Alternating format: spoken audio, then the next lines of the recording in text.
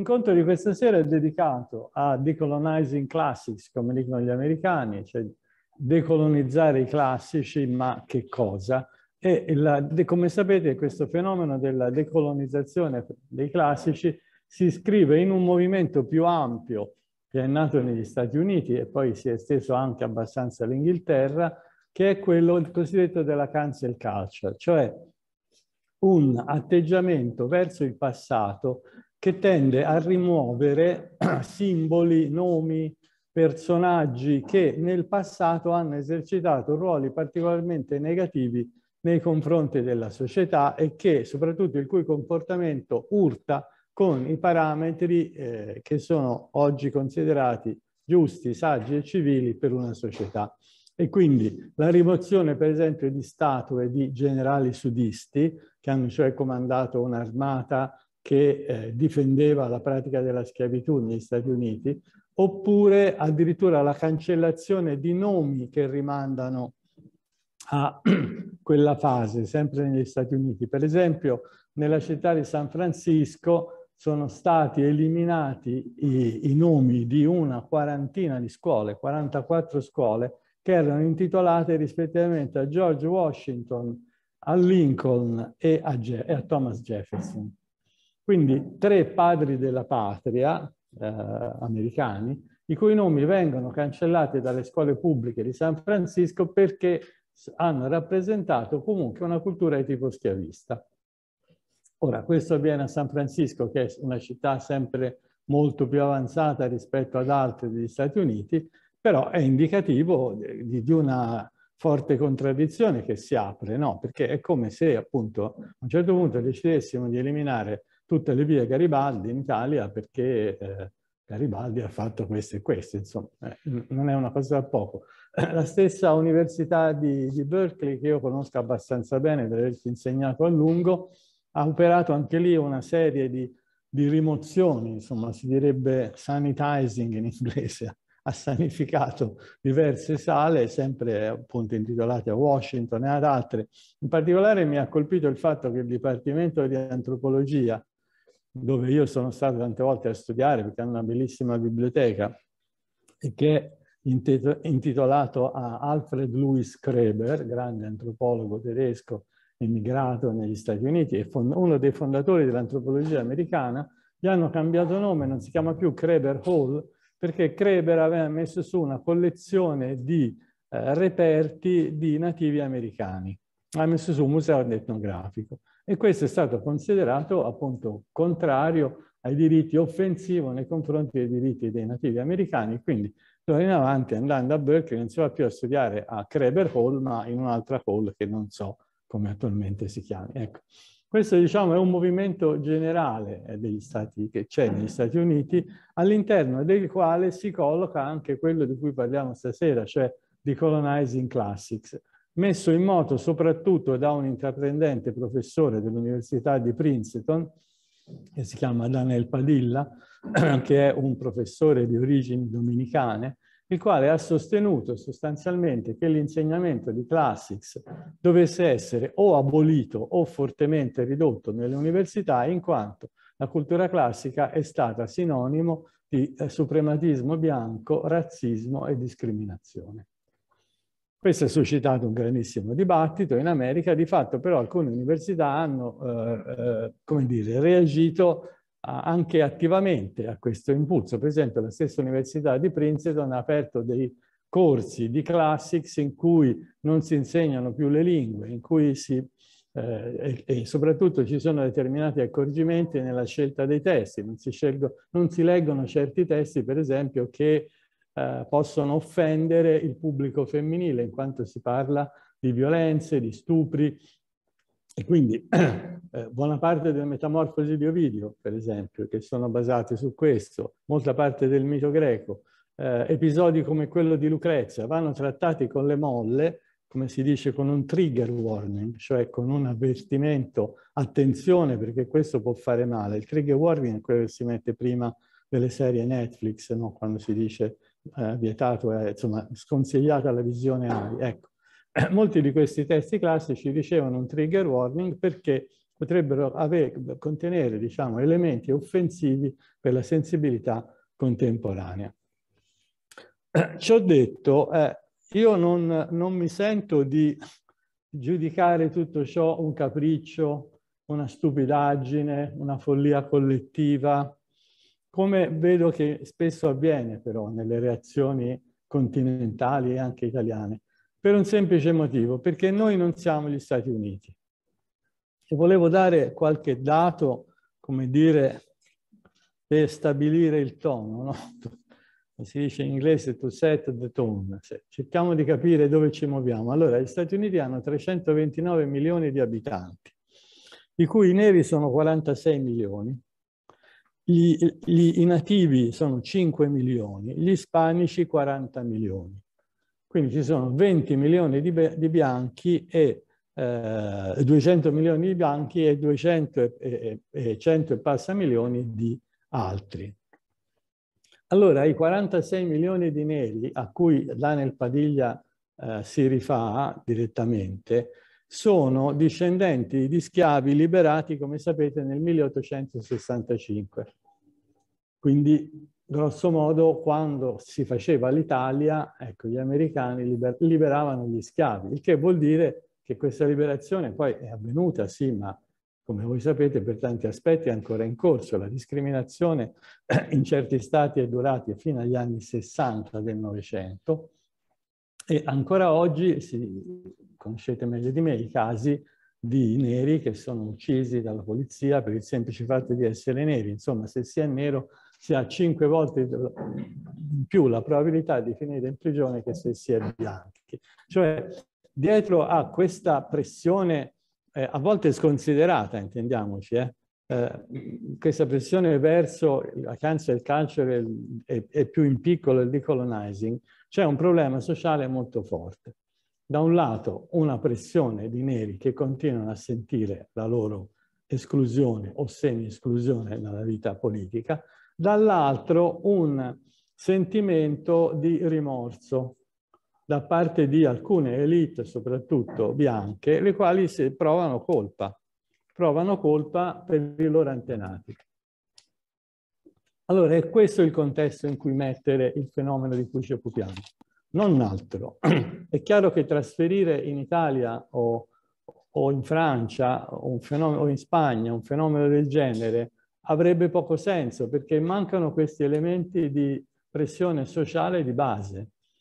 Quando Daniel Padilla dice classics è suprematista e, di, di, eh, discriminatorio, vuole anche dire non ci sono professori neri di classics, il che è vero sostanzialmente, sono molto pochi. Io nei miei anni di insegnamento a Berkeley, e ci ho insegnato dal 92 a, a, a po pochi anni fa, ho avuto una studentessa giamaicana, bravissima, ma non nera americana, e poi occasionalmente un, un, nero che voleva studiare classics per diventare pastore e che però era molto più reazionario di me e quindi non andavamo d'accordo perché riteneva che io con l'antropologia guastassi classics. Questa è stata la mia esperienza di presenza di neri nelle mie classi.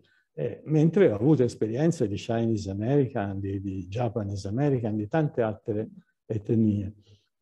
E quindi, come dire, il problema è un problema complesso che va affrontato prima di tutto, secondo me, a partire da una base sociologica. E concludo anche con altri aspetti della società americana che si tende in genere a, a ignorare, ma eh, qui prendo da un piccolo saggio molto bello di Ian, Ian McEwan, La fine del mondo, un saggio sul millenarismo, in cui lui dice il, in America eh, il 90% si, eh, si ritiene certo dell'esistenza di Dio, il 53% è creazionista, il 44% sostiene che Gesù tornerà a giudicare i peccati, quindi aspettano la venuta di Gesù, e il 12% è evoluzionista. Quindi il fatto che poi nelle scuole il creazionismo non venga quasi più insegnato è dovuto al fatto che certe elite, quelle stesse probabilmente che provano poi rimorso per quanto avvenuto nel passato, hanno fatto sì che i programmi non rispecchiassero effettivamente la, il sentire comune, perché altrimenti con il 53% di creazionisti il creazionismo sarebbe insegnato anche a scuola. Ecco. E, e infine eh, bisogna ricordare che soprattutto negli stati del sud il, il passaggio di Genesi 9, 24 27, quello in cui Noè ubriaco viene visto nudo da Cam e quindi Cam riceve la maledizione da Noè, gli viene detto Cam e Canaan, tu sarai servo dei tuoi fratelli, è preso seriamente come una maledizione che Noè e quindi Dio avrebbe inflitto su Cam, cioè l'antenato dei neri, e quindi starebbe scritto nella Bibbia che i neri devono essere schiavi dei bianchi. Queste erano cose che venivano insegnate fino a non molto tempo fa nella, nelle scuole, eh, diciamo, nelle scuole domenicali cosiddette degli Stati Uniti. Per cui ci troviamo di fronte a una cultura che effettivamente è molto diversa e che nella sua massa soprattutto è molto diversa, anche se poi le elite newyorkesi o di San Francisco ci rassomigliano molto di più, ma, ma non è così di fatto. Eh, I problemi sociali dietro sono molto più complessi. In questo quadro noi dobbiamo cercare di collocare anche di Colonizing Classics e dire chiaramente che non siamo d'accordo, cioè che cancellare una parte della cultura classica o dimenticarla del tutto perché è stata una cultura suprematista, eccetera, eccetera, beh, è un atteggiamento sbagliato, è, sono, è diverso il modo verso, deve essere diverso il modo in cui noi guardiamo a questi fenomeni, però non possiamo nemmeno fare finta che non ci siano. Ecco, eh, questo diciamo è la prima parte delle mie riflessioni, adesso cedo volentieri la parola al mio amico e compagno Gigi Spina. Ecco, allora intanto il piacere di ritornare, soprattutto con Maurizio, di rivedere in presenza tanti amici e tante amiche. Allora io riprendo la discussione, appunto abbiamo pensato a una forma proprio di riflessione ad alta voce, e su due punti. Eh, non ignorando, e penso a un certo punto ci arriveremo sul fatto che quando abbiamo pensato a questo tema non avremmo mai immaginato di parlarne in presenza di alcune forme di cancellazione europee eh, sopravvenute in seguito alla guerra. Pensiamo alla, alla vicenda Dosè. E penso che parleremo anche di questo, ma naturalmente molto sommessamente e eh, senza pontificare come in genere si fa. Io volevo mm, mm, appunto sviluppare due punti. Il primo che diceva già Maurizio, cioè perché noi non dobbiamo a nostra volta cancellare questo problema, come se fosse, appunto, lui diceva è stato accolto con sufficienza, a volte si è parlato espressamente di barbarie americana, cioè dice lì in fin dei conti hanno sollevato questo perché appunto mentre loro cominciavano a eh, affacciarsi alla civiltà noi già avevamo secoli di storia. Quindi non dobbiamo a nostra volta cancellare questo problema, cioè annullarlo e rivendicare una sorta di supremazia intellettuale o di cultura o di civiltà che ci ha consentito di eh, studiare e propagandare e fare andare avanti i classici per tanti secoli. La seconda cosa è cercare, questo potrebbe essere forse più capzioso e sofistico, di individuare in questo stesso atteggiamento del tentativo di cancellare, decolonizzare, eccetera, dei riflessi delle stesse culture antiche che si vogliono cancellare. Allora, sul primo punto, cioè perché in linea di principio non bisognerebbe mai cancellare, ma eventualmente affiancare criticamente, io ricorro a una delle mie fissazioni che prendo dal mondo classico, cioè la individuazione di una sorta di quattro operazioni che troviamo per la prima volta in Platone poi la seconda volta nella cultura romana in Quintiliano, sviluppate bene la cosiddetta quadripertita razio, applicate alla lingua, ma sostanzialmente anche al discorso e volendo a molte forme delle manifestazioni umane, cioè le operazioni dell'aggiungere, del sottrarre, del sostituire e del cambiare di posto. Le dico in latino adiexio, detractio, in mutatio e transmutatio. Allora, la detractio, cioè la cancellazione, la sottrazione, che cosa fa? Sostanzialmente toglie un elemento sul quale si potrebbe anche discutere criticamente. Mentre un'altra operazione, e un po', un po' va insieme con la sostituzione, cioè io metto qualcosa al posto di un altro, quell'altro sostanzialmente non c'è più. C'è invece un'operazione che è molto più proficua e utile, che è quella del cambiamento di posto, che io etichetterei per quello che ci riguarda come il cambiamento del punto di vista, cioè accettare il fatto che non c'è un unico punto di vista, come non c'è stato probabilmente mai, sulla storia dei classici e sui temi che i classici ci, ci trasmettono, che sono i temi delle culture che li sviluppavano, li vivevano e li lasciavano scritti.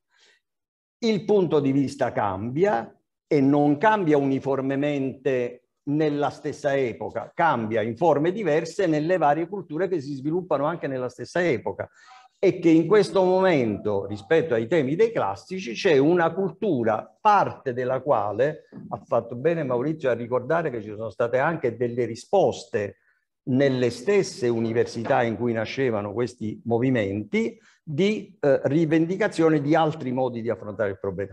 Quindi il modo di affrontare il problema attraverso lo spostamento del punto di vista consentirebbe di mettere a confronto e di affrontare criticamente che cosa è avvenuto nella trasmissione dei testi classici nelle varie epoche. Evidentemente che noi non difenderemmo mai la supremazia e il valore, ad esempio, dell'impero romano come fu gestito durante il ventennio fascista, è una cosa che già abbiamo fatto. Probabilmente abbiamo cancellato qualche nome di qualche studioso, è stata una sfortuna, forse quello studioso aveva anche qualche elemento che potremmo approfondire e, come dire, trasformare in qualche cosa di utile, ma l'operazione appunto del cambiare il punto di vista, del trasportare quella tematica in altre forme, di analizzare quindi criticamente, mi sembra l'operazione con la quale eh, non dico soltanto noi diciamo che facciamo questo per mestiere, ma in generale la cultura, l'intellettualità europea dovrebbe rispondere a queste forme. Quindi riproponendo invece forme di confronto che accettano i motivi dai quali nascono queste eh, proteste, queste forme di cambiare le forme di insegnamento, mettere in guardia, quindi in questo non essere d'accordo sulla cancellazione e tentare di proporre in positivo invece forme diverse di cambiamento di punto di vista.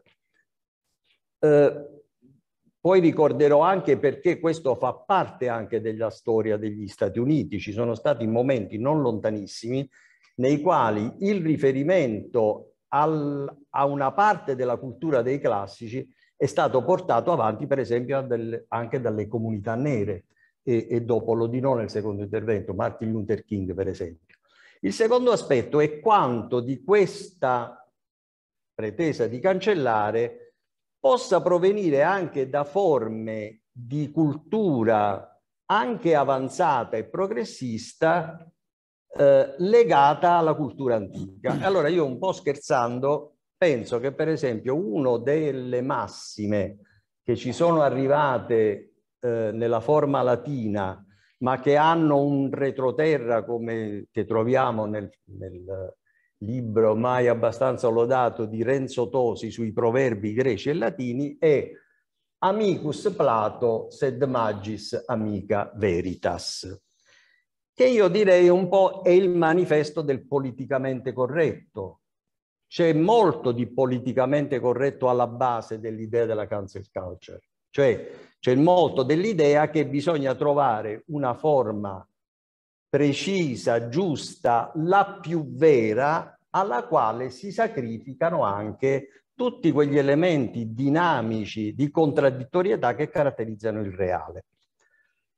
Allora, è vero che la verità deve essere più amica di tutto, ma perché sacrificare un'amicizia alla verità?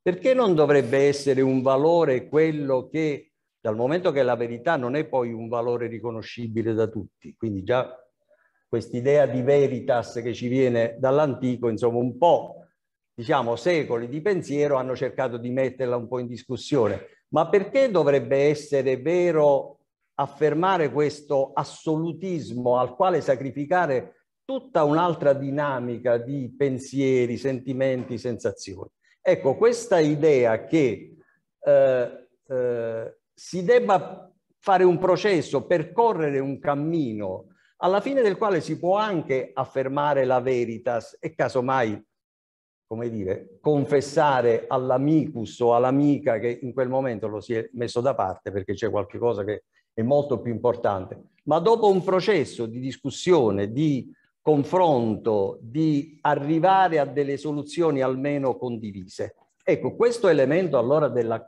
correttezza, dell'assolutismo, non è estraneo alla cultura nella quale sono stati educati anche professori e colleghi come Padiglia o altri intellettuali e pensatori del mondo antico, anche pensatori neri, cioè forme che si sono accumulate, sentite o interpretate in qualche modo che hanno determinato questi aspetti, cioè sono almeno insomma, un po' di, di anni e decenni che le culture nel mondo si intrecciano, non soltanto da quando ci sono i social e le comunicazioni. Quindi riconoscere anche elementi probabilmente negativi che hanno influenzato queste forme di assolutismo sarebbe come dire un modo di rimettere in eh, discussione le giuste pretese da cui nascono, che appunto sono legate anche ad analisi di tipo sociologico, ma individuano un metodo che può essere eh, legato, può essere utile anche in situazioni sociologicamente e politicamente diverse. Quindi io direi che questo dovrebbe essere, anche io mi fermo qua per poi lasciare la parola a Maurizio, una sorta di metodo di discussione, perché adesso ancora ne siamo abbastanza lontani. Poi ripeto, qualche parola su, sul come in questo momento anche noi, noi in generale, in Europa si stanno cancellando molte cose e ci dovrebbe far pensare. Però quando arriverà agli studi classici anche europei un po' questa ondata, dovremmo essere pronti a rispondere in qualche modo. Grazie Gigi. Io continuo su questo pedale un po' più, più generale, diciamo, per poi focalizzarmi di più sull'aspetto dei classici e del problema della decolonizzazione dei classici. Il, il, fenomeno a cui ci troviamo di fronte, però, secondo me, è un fenomeno estremamente complesso che ha tante componenti. Una l'ho indicata prima ed è il senso, come dire, del risentimento da un lato e il senso del rimorso dall'altro, che però è più caratteristico delle società americane. Poi però c'è un altro aspetto della società contemporanea che credo giochi molto in questa vicenda e che molto mi colpisce, e cioè la crescente importanza delle identità. Le identità, eh, il concetto stesso di identità, il modo di interpretare la società, il mondo attraverso le identità, ovvero le culture, che spesso però sono un po' sinonimiche, le due cose. Come un tempo si diceva razza, oggi si dice cultura insieme a identità. Ecco, questo modello eh, si sta, come dire, propagando. E faccio qualche esempio. Fino, io mi sono sempre occupato, di, come qualcuno sa, di questo problema dell'identità. Eh, ne ho ricevuto anche un esplicito rimprovero, diciamo, a parte il professor Malaspina, che una volta mi ha mandato una specie di letteraccia. Ora, ora facciamo così per scherzare. Però, insomma, è un mio interesse antico. E, in passato, diciamo vent'anni fa, più o meno, quando cominciavo a occuparmi di queste cose, e, e, i gruppi identitari erano sostanzialmente su base locale o regionale. Esistevano identità di carattere, appunto, identità veneta, identità lombarda, oppure l'identità più circoscritta di un, di un piccolo paese, di una piccola comunità, oppure identità più grandi, anche tragiche, come l'identità serba, che ha prodotto, come sapete, stragi, ammazzamenti. Eh, insomma, però erano identità di questo tipo. Adesso il concetto di identità si sta ulteriormente sviluppando e per esempio si è sviluppato molto forte una nozione di identità gay che prima non era così visibilmente strutturata, così come si sta strutturando anche una nozione, questo è un po' un paradosso, di identità di genere non strutturata, che però anche questa sta assumendo, addirittura voleva prendere forma di legge in un certo senso, questa identificazione eh, di, di, appunto di non, di non gender, di fluidità, diciamo. Così come un'identità sempre più forte eh, è assunta anche dall'identità femminile, che, che, è abbastanza paradossale il fatto che la donna, molte donne tendono a porre la propria identità in termini di minoranze, quando in realtà numericamente non sono affatto delle minoranze, come sappiamo, però si configurano come minoranze o minority perché in effetti subiscono alcune discriminazioni, alcune ingiustizie.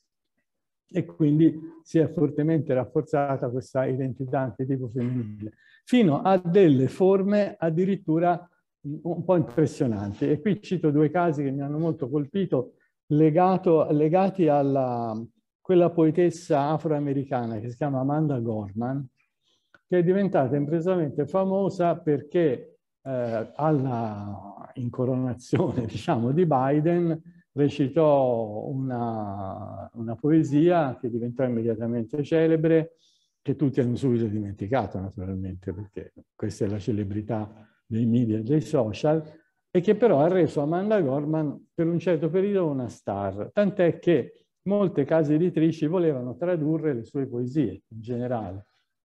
Allora è accaduto, per esempio, che un editore catalano eh, voleva eh, tradurre le poesie di, di Amanda Gorman affidandole a un traduttore molto sperimentato dall'inglese Victor Obiols, il quale però è stato rifiutato da Viking Books, che è l'editore di Amanda Gorman. Perché? Perché è maschio e perché è bianco. Avrebbe, per tradurre Amanda Gorman ci sarebbe voluta una donna e nera. La stessa cosa è successa in Olanda, anche qui c'è stata una reazione delle attiviste perché eh, la, questa signora Rineveld non era nera, non era attivista politica. Era una donna ma non era attivista politica e non era nera. Allora, questo è il paradosso dell'identità. come dire, l'identità è talmente forte che si riverbera addirittura sui testi che uno ha scritto e nega uno del, degli assiomi fondamentali di chiunque abbia studiato la linguistica all'università, che è quella della traducibilità dei linguaggi, se tutte le lingue sono sostanzialmente traducibili in un'altra. Salvo che ideologicamente non ci si voglia mettere una barriera di, di carattere puramente ideologico-identitario, che è quella della caratteristica femminile, nera e addirittura dell'ideologia politica, l'attivista. A questo punto il traduttore non è più qualificato, è, è, un, è un, fenomeno molto impressionante questo, il, il che ti dà l'idea che effettivamente viviamo in un'età che già il vecchio Harold Bloom definiva l'età del risentimento, the age of resentment. Cioè c'è come un risentimento uh, progressivo fra i gruppi, no? che si distinguono, si, si separano, si oppongono, si vogliono differenziare. Ecco, concludo dicendo tutto ciò è assolutamente paradossale. In un'epoca che parla solo di diritti umani, ci fosse una volta che qualcuno parla di uomo in questi casi, cioè la caratteristica umana comune c'è, no, ci dovrebbe essere. Sì, tutti parliamo di diritti umani, ma diritti umani in realtà sono diritti di certe comunità identificate. Questa è in realtà l'interpretazione che si dà oggi di diritti umani. Si ritorna al vecchio De Maistre, che non è caso era un grande pensatore reazionario, il quale diceva io ho visto dei francesi, ho visto degli inglesi, ho visto degli italiani, ma non ho mai visto un uomo perché lui era contro les hommes, les droits de l'homme della rivoluzione francese. Ecco. Secondo me si sta ritornando a questo. Io ho visto, ho visto dei neri, ho visto dei gay, ho visto delle donne, ho visto dei veneti, eh, però non ho mai visto un uomo. Ecco, no, invece sono gli uomini quelli che contano, è per l'uomo che bisogna lottare. Però ecco, tutto questo, diciamo, eh, conflittualità latente tra i gruppi, eccetera, è chiaro che poi finisce anche in atteggiamenti come la cancel culture. Perché? Perché ci si identifica e ci si scontrappone a qualche altra cosa. Quindi quello che viene meno poi è il dialogo in questi casi, perché l'identità, se c'è una cosa che impedisce, è il dialogo. L'identità esclude, non, non vuole incorporare, non vuole interpretare, eccetera. Quindi io direi che anche questa è una cornice in cui noi dobbiamo, se vogliamo capire il fenomeno, dobbiamo iscrivere eh, questi due aspetti che ci interessano oggi pomeriggio. E io volevo riprendere questa, questo accenno che facevo al fatto che ci sono stati momenti nella storia anche della, della cultura americano-statunitense e anche abbastanza recenti, nei quali il riferimento a testi o momenti di cultura classica è stato importante se non fondamentale. E quindi in qualche maniera, come dire, dovrebbe venire quasi spontaneo l'invito da parte di chi mette in discussione in maniera così globale la capacità dei classici di trasmettere ancora, se non altro, pensieri su cui riflettere, eh, inviterei a prendere in considerazione questi momenti. Faccio riferimento in particolare a quella che potremmo chiamare l'era dei Kennedy, quindi gli anni 60 grosso modo, e a qualche cosa di molto più recente. Nell'era dei Kennedy ci sono due fatti molto importanti, uno legato proprio all'inaugurazione, prima si parlava della, della poesia all'insediamento di Biden, quando si insediò John Kennedy, un famoso poeta americano, Robert Frost, eh, presentò una poesia che ebbe varie vicende perché la poesia che aveva preparato non, pot non poté leggerla perché c'era un sole accecante e un vento che faceva volare i foglietti, ma in ogni caso il modo col quale fu, fu presentato l'insediamento di John Kennedy fu quello di parlare di una nuova età augustea. Ponendo anche un problema di dialettica solita e mai risolta fra Roma e Atene come modelli, perché nella cultura americana dell'epoca uno dei modelli della democrazia era ovviamente quello ateniese o pericleo per così dire e queste tracce si trovano anche in molti dei discorsi di John Kennedy. Ma questo fu un esempio, cioè il fatto che eh, in un momento importante della cultura, della politica americana, si faceva riferimento a un modello che era la, la, la nuova età augustea. L'altro momento ancora più importante e decisivo fu il 4 aprile del 68, quando cioè eh, si, si ebbe notizia dell'assassinio di Martin Luther King, e Bob Kennedy si trovava a fare un comizio a Minneapolis. E gli sconsigliarono di parlare. E Bob Kennedy volle parlare. C'è un filmato che ogni volta che lo vedo, insomma, sono davvero brividi reali. E a un certo punto in questo discorso preparato e poi fatto a braccio, in cui a un certo momento Bob Kennedy ha un momento, diciamo, di eh, calo di memoria, davanti a una folla di neri ai quali Kennedy deve dire che è stato assassinato il loro leader e dice che lui ha avuto lo stesso problema per un fratello assassinato da un bianco, a un certo punto cita l'Agamennone di Eschilo, che è una cosa assolutamente sconvolgente.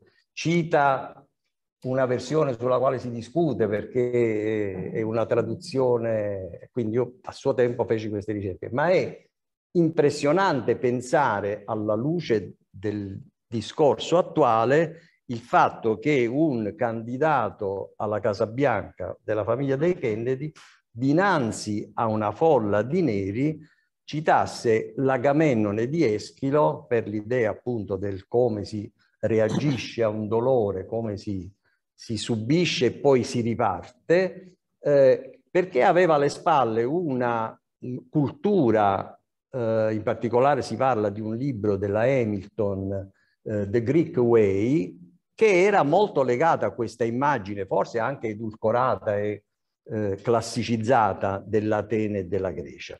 Questi quindi sono due momenti, certo sono ancora gli anni 60, gli anni durante i quali lo, lo, la, la, condizione dei neri è ancora molto eh, drammatica, ma se siete appassionati di musica, in particolare di jazz, trovate che in questo periodo si sta preparando un'opera di jazz, quindi un'opera musicale di jazz da parte di un eh, famoso esponente del jazz, Wayne Shorter, un sassofonista, e una bassista eh, molto giovane, Esperan Esperanza Spalding, sulla Ifigenia in Aulide.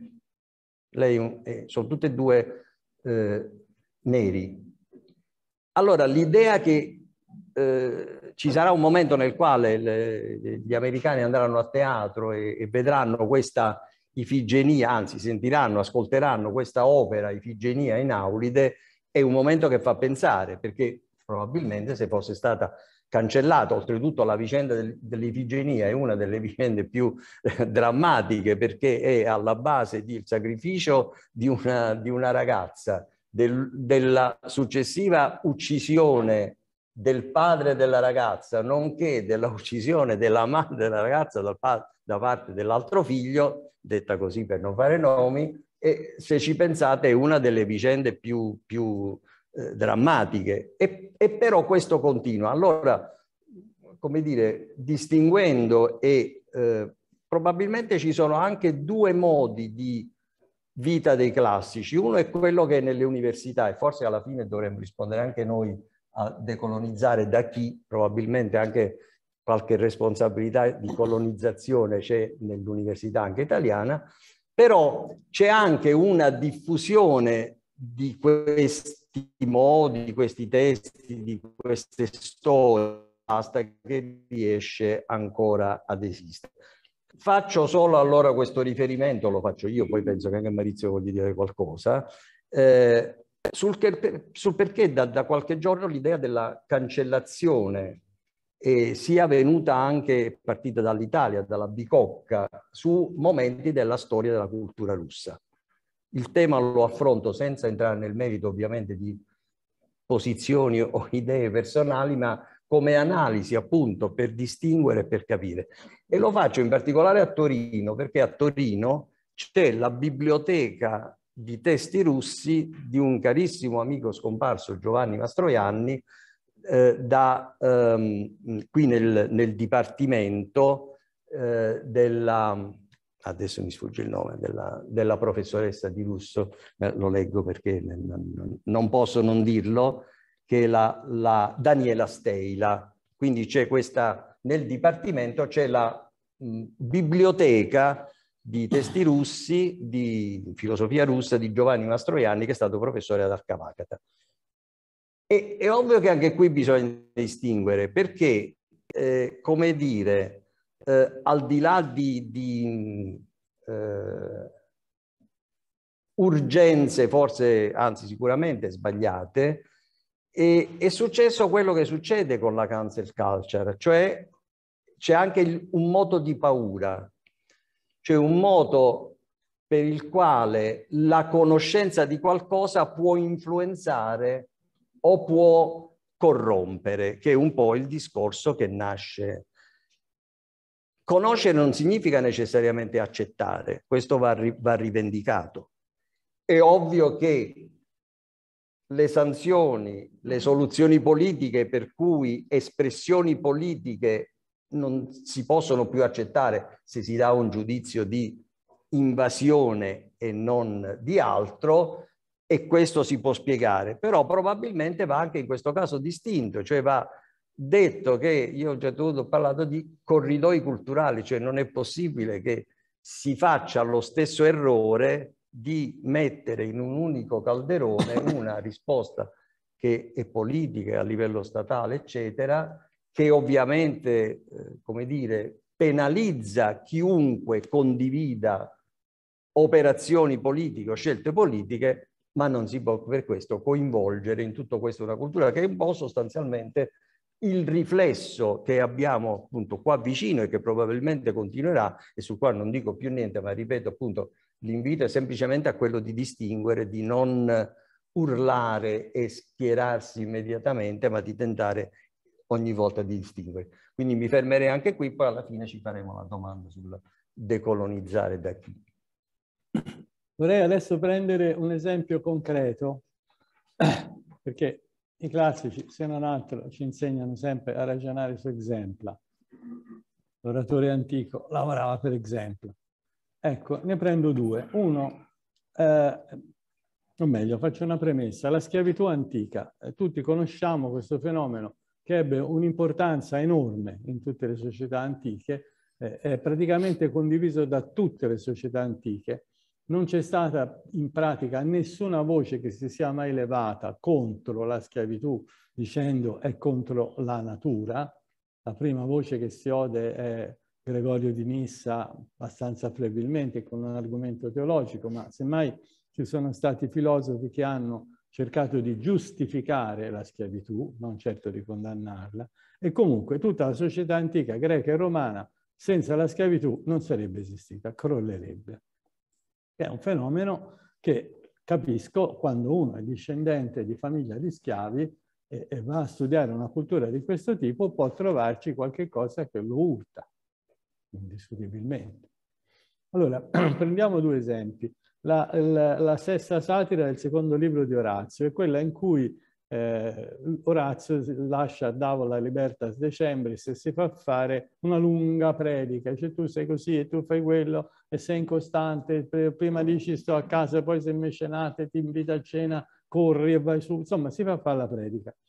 Alla fine Orazio si secca un po' di questo, gli dice guarda smettila perché altrimenti io ti mando a lavorare con eh, gli schiavi nella, nel podere della Sabina.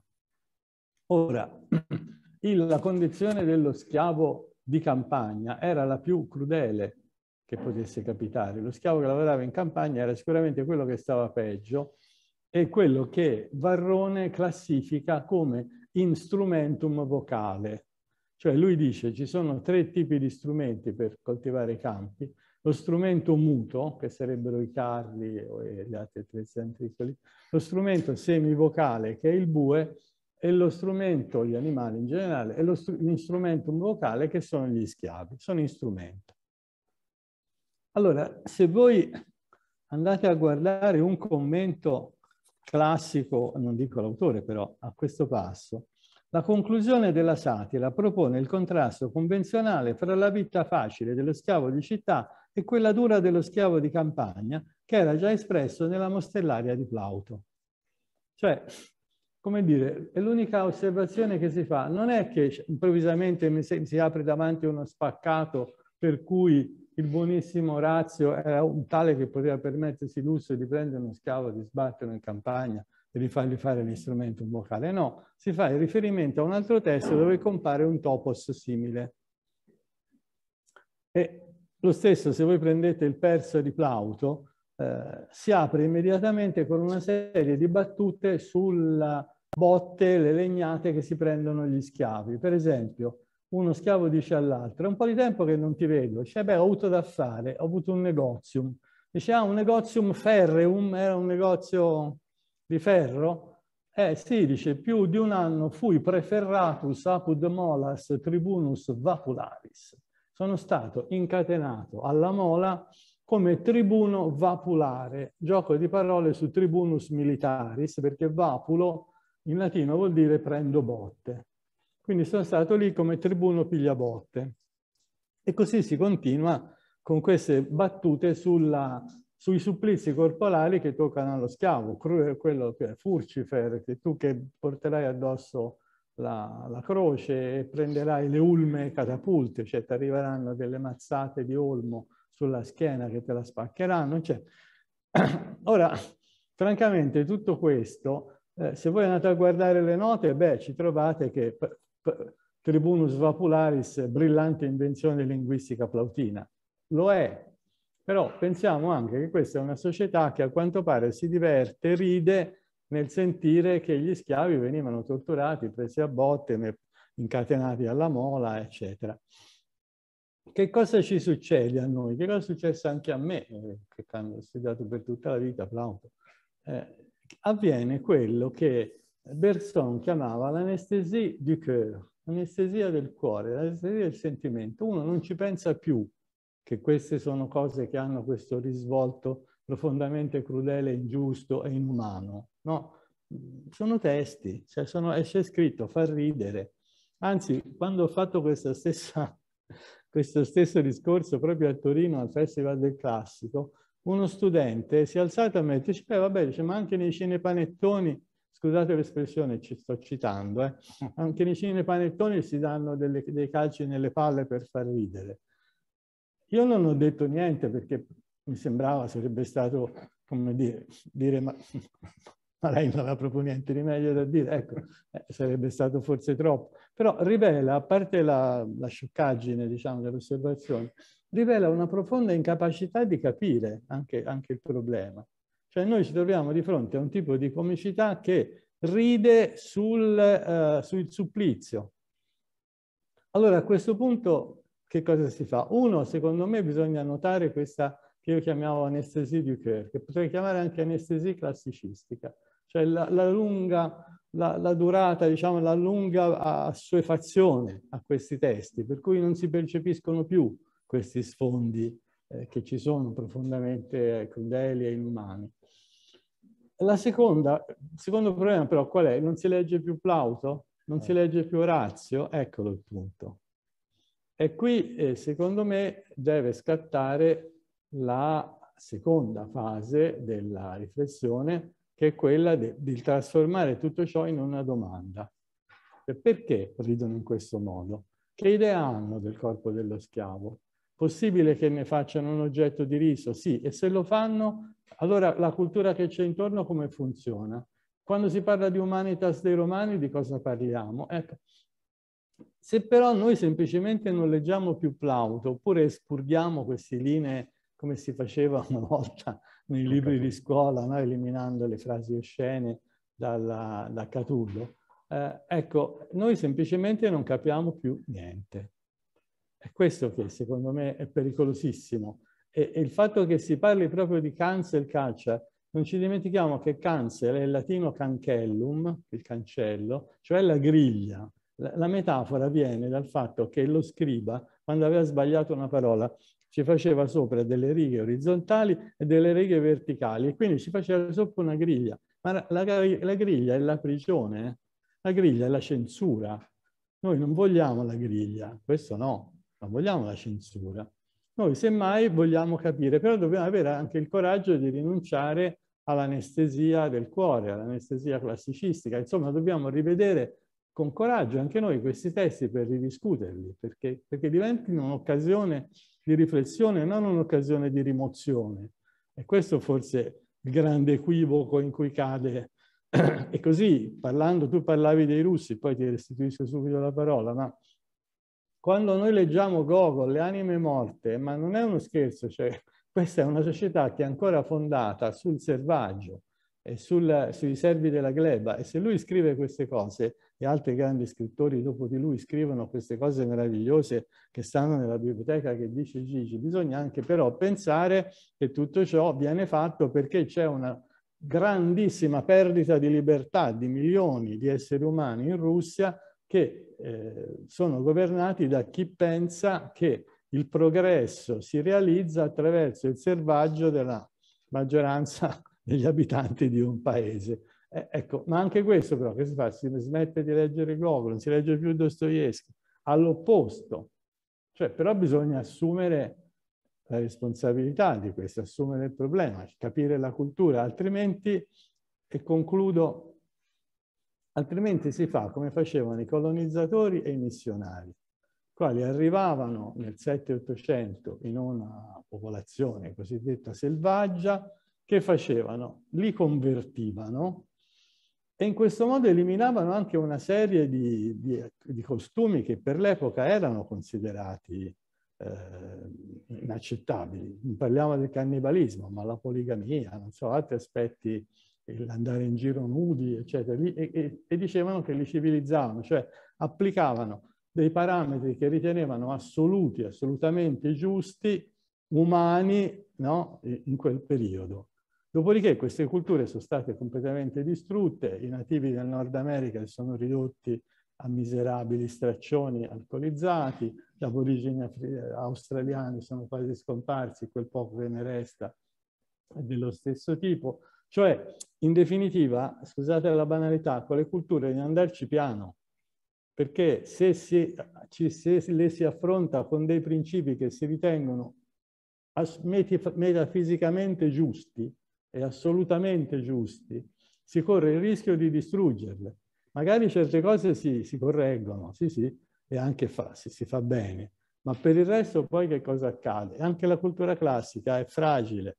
Se la si affronta con questa idea preconcetta della giustizia di alcune cose, e tutto il resto si corre il rischio di crollare, di, di, di scomparire, come è successo a delle culture vive.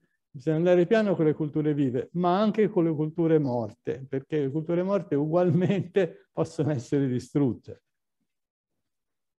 E ehm, provo a integrare con due cose che mi ero segnato perché, eh, a parte che sono molto d'accordo, mi sembra che appunto si riproponga questa, questa idea del cambiamento del punto di vista legato alle necessità dell'oggi, cioè accettare pienamente che si cambia quasi continuamente discorso rispetto al passato, non si cambia il passato, si cambia discorso rispetto al passato proprio perché cambia la vita e urgono domande diverse di analisi e di indagine dello stesso passato.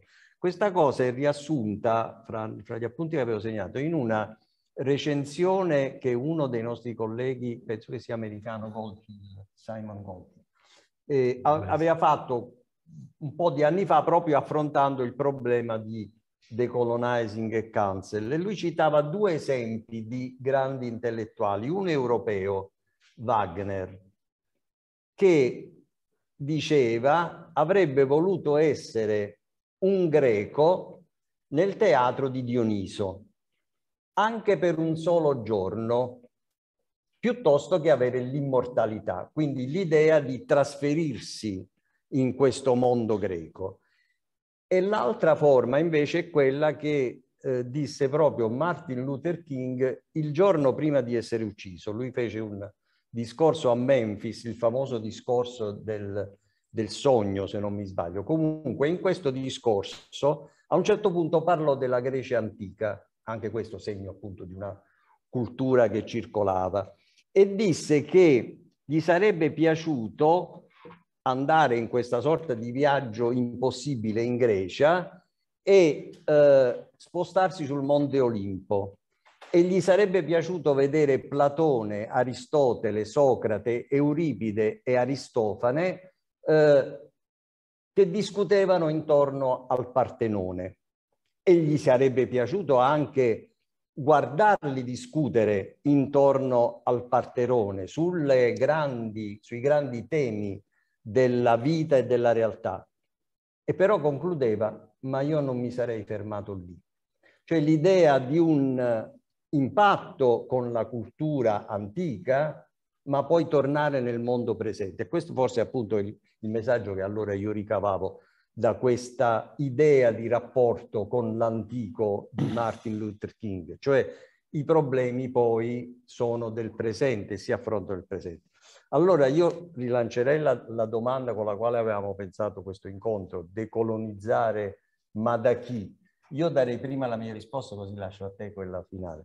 Decolonizzare probabilmente da chi in qualche modo anche nel nostro campo, diciamo, di studi ha un po' colonizzato i classici nel senso di farne una prerogativa soltanto degli studiosi del mondo classico e non ha colto invece la varietà di modi possibili con cui si possono leggere, diffondere e accettare. Ovviamente con le precauzioni che diceva Maurizio, cioè non appunto della eh, uso questa battuta, dell'analogia come forma della comprensione storica, che diventa una mancanza della compassione storica. Appunto, io non, conoscevo questa idea della, dell'anestesia del, del cuore, cioè l'idea della compassione manca sostanzialmente quando si punta soltanto a una, a una, comprensione storica. Allora ci sono probabilmente degli studiosi del mondo classico che hanno sostituito un non più proponibile classicismo, che ormai nessuno più difende, cioè l'idea che ci sia stato un mondo abbastanza perfetto di valori eterni, che si tratta soltanto di recuperare, eh, rendersi appunto, modellarsi rispetto a questi valori, ma hanno trasferito quest'idea di classicismo al loro insegnamento, nel senso di essere diventati i, gli unici interpreti del mondo classico. L'idea invece che lo stesso mondo classico, i testi, soprattutto dal punto di vista umano, vadano ogni volta riletti, ripensati con competenza ma anche con grande umanità, e forse la risposta a questo decolonizzare da chi? È l'ultima risposta a Maurizio. La mia risposta è sostanzialmente la tua, cioè in realtà, uh, beh, vabbè, uh, posso aggiungere, prima di tutto è chi decolonizza i classici che mi dà l'impressione di colonizzarli, nel senso che li riduce alla sua misura, proprio come dicevo faceva il missionario o il colonizzatore con le popolazioni africane o nordamericane che cercava di ridurre alla sua misura, al suo standard, distruggendolo. Quindi paradossalmente direi che è una cosa che io rovescerei completamente. È questo atteggiamento di decolonizing, che è una colonizzazione bella e buona del mondo antico. E perché? È perché il mondo antico in realtà, tutta la cultura antica, va sempre riscoperta come altra, come diversa, cioè quello che manca, che è mancato e che questa anestesia classicistica ha impedito molto spesso di realizzare, è proprio di affrontare il mondo antico nella sua diversità, la sua diversità anche negativa, come dicevo prima, con la schiavitù o con la discriminazione nei confronti delle donne o con il, la violenza, il sangue, l'uccisione come divertimento, che sono aspetti forti, fondamentali della cultura romana. E quindi sono aspetti per noi profondamente negativi, che devono essere affrontati e studiati, ma anche nelle sue diversità, che sono diversità di grande interesse, cioè il fatto che già presso i greci e presso i romani si vedano sorgere questi principi umanitari profondi, come eh, dare l'acqua a chi la chiede, dare il fuoco a chi la chiede, seppellire il morto, eh, porgere la mano al naufrago, cioè queste sono quelle regole classiche che poi eh, non più di 4, 5, 3, 4 anni fa abbiamo visto negare palesemente addirittura da un ministro dell'interno che non voleva porgere la mano al naufrago, ma addirittura respingere il naufrago dalle, dalle, dalle coste. Ecco, questo, come dire, sono aspetti della cultura classica che ci devono far riflettere in positivo. Cioè, attenzione che già l'Eneide era più avanti di quanto siamo adesso noi in questo momento storico dell'Italia, quando si descrive il naufragio dei, dei troiani sulle coste di Cartagine, che, che ricevono un'accoglienza ben diversa da quella che noi purtroppo spesso abbiamo riservato e riserviamo ai naufraghi. Quindi, come dire, cogliere tutti questi aspetti appassionanti, interessanti, diversi del mondo antico, che sono anche eh, per certi standard negativi, ma che vuol dire? C'è la storia apposta, c'è l'antropologia apposta. Vogliamo rinunciare a tutto questo per un'ideologia, perché questo è una semplice ideologia, come ce ne sono state tante altre, no? che vogliono appiattire tutto su un solo schermo. Questo no, questo è anti-intellettuale per, per definizione. Quindi se dobbiamo decolonizzare i classici, dobbiamo decolonizzarli da un lato da chi attualmente li vuole decolonizzare e dall'altro da questa anestesia classicistica che rende tutto ovvio, tutto normale, tutto semplicemente una questione di traduzione, di tradurre bene, di, di capire, di conoscere la sintassi, non lo so, ecco, queste sono francamente colonizzazioni piuttosto pesanti per una cultura come quella antica.